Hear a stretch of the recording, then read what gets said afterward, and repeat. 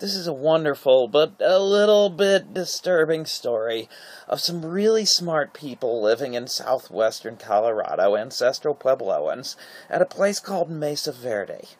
Uh, they lived there for hundreds of years and left shortly before Columbus got to the New World. Uh, a lot of their farming was done on top of a mesa, and they lived in caves down the side of the mesa in these wonderful structures made mostly out of stone. Here is a modern ladder with a person for scale. And what I want you to notice here, in addition to the great buildings, is up here on top. This fairly clearly was a granary. This is where they kept their food late in their existence there. It's probable, not certain, but it's probable that this is a little bit like a modern person putting the cookies way up on the upper shelf so they won't eat them before they're ready to. Except this wasn't the cookies, this was the food. And that might be something you'd do if food was really getting scarce. Now, that structure we just looked at, if you go behind it, you find it's actually built in a cave. And there's this is sandstone, and there's little bits of shale, and water sort of percolates down through here, and then it hits the shale, and it seeps out. So it's a little bit damp back there in a generally dry climate. And if you look around back here on this rock, do you see? You see things like this little holes that they dug in the rock so that when water came seeping out, it would fall into these holes, drip in, and you could take a cup and get a little bit of water. And that's what you do if you're really thirsty, because that doesn't look like the best water for us, but if that's all the water you have, that's what you do. Now, they built these wonderful structures, and some of them had windows between, say, your house and mine, or your room and mine. And late in the occupation, it appears that they walled the windows off. And usually, when you're walling the window off, you're trying to keep something out.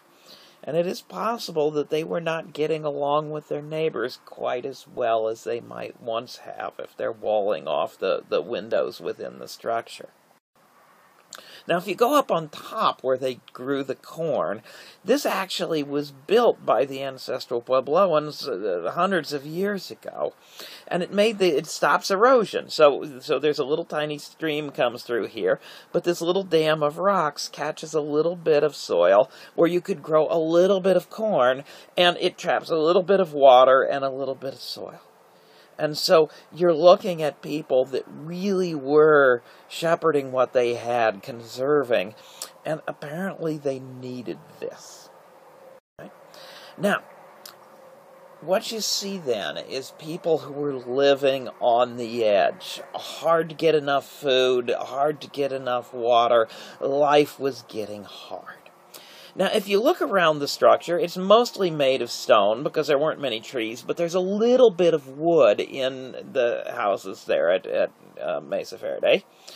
You know anything about wood, you know that it has layers, and the layers, when the tree is happy, it grows a thick ring, and when the tree is unhappy, it grows a thinner ring, and you can see different thicknesses of rings in this. And you can take cores and you can count the layers and count how thick the layers are.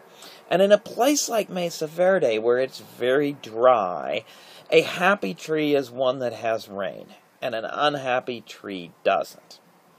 It's also possible, if you have a living tree, you can take a core from it and you can see the pattern of thick and thin rings in that core. There might be dead trees nearby, and you can see the pattern of thick and thin rings in that, and you can match them up between trees. And you can go back to the wood in the archaeological sites, and you can find the same pattern. And so you can make a tree ring record which is longer than the life of any given tree, with the thickness of the ring telling you how much it rained. So now what can you do? Archaeologists and tree ring people got together and they made the plot that you're going to see here. The year 800 is on your left, the year 1200, 1300 there, which is sort of the crash. And so, first of all, you have in green here a history of how many people could live in the area. And this is actually done just down the road from Mesa Verde at a place called Longhouse Valley that had less trade, so it was sort of easier to work on. And what they did is they looked at the trees and they said how thick a layer is is how much it rained. Rain also tells you how much corn could be grown, and corn is how many people could live there. So the green curve is from trees and from knowledge of the people, how many people could live in this place. Independently, archaeologists went in and they looked at the classical things how many people were living there you know how many burials and how many houses and that sort of thing and so they looked at how many people were living there and that's this curve and what you'll notice is sort of within the scientific uncertainties of all this, these are the same record. How many people lived there and how many people could live there are essentially the same. When it got wet, population went up. When it got dry, we don't know whether they died or whether they left or whether they quit having babies, but the population went down.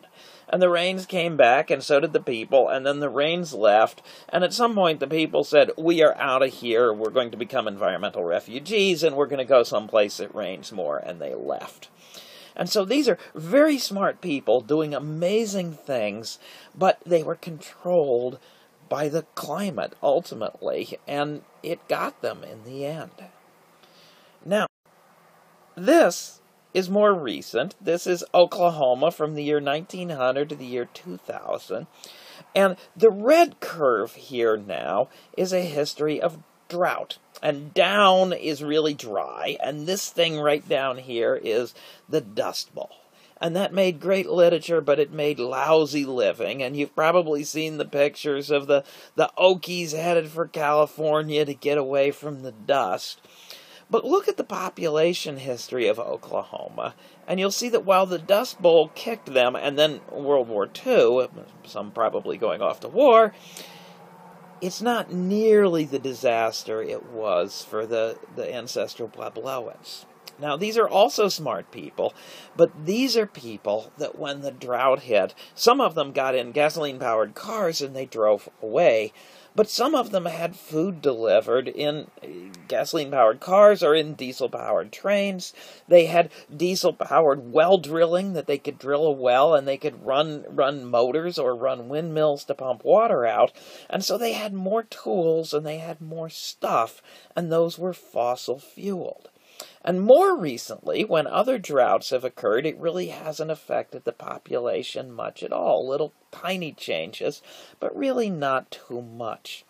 And so what you can see is our having fossil fuels and having machines and having trade has greatly insulated us from what otherwise would be disasters for even very smart people.